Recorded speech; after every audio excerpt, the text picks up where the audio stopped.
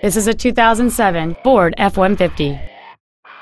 It has a 5.4-liter, eight-cylinder engine and a four-speed automatic transmission.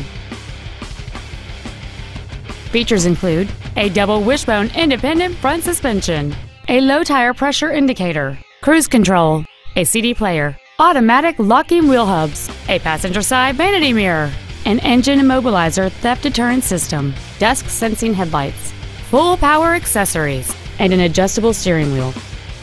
Contact us today to schedule your opportunity to see this automobile in person.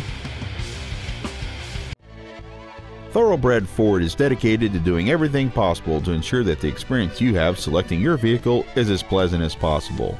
We are located at I 29 and Barry Road in Kansas City.